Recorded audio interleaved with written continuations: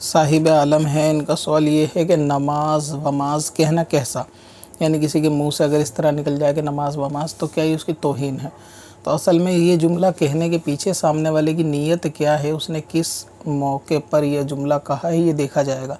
ये अल्फाज मोहम्मल होते हैं, जो कुफर हो भी सकते और नहीं भी हो सकते। मिसाल के तौर पर अगर किसी ने तोहन की नीयत से ये कहा कि नमाज़, वमाज में क्या रखा है, या मैं नमाज़, वमाज नहीं मानता तो यहाँ पे नमाज़ का इनकार होते ही वो बंदा जो है ना काफिर हो जाएगा। और अगर किसी की नीयत ऐसी नहीं थी, लेकिन बोलचाल में ऐसे जुमले यूज़ होते हैं, जैसे कि किसी ने कहा कि शाम को कहीं चलना है और बंदा कहे कि मैं नमाज़ वमाज पढ़ने के बाद, खाना वाना खाने के बाद जाऊँगा।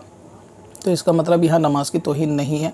तो इस किस्म के जुमलों पर फिर कोई कुफर का हुक्म नहीं होगा।